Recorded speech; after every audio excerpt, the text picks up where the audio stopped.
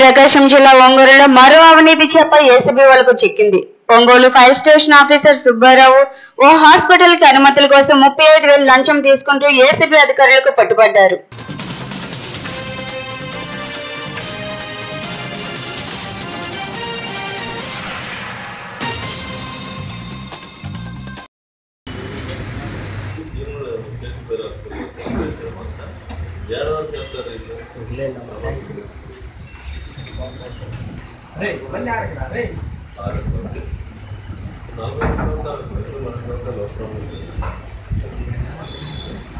దీని తర్వాత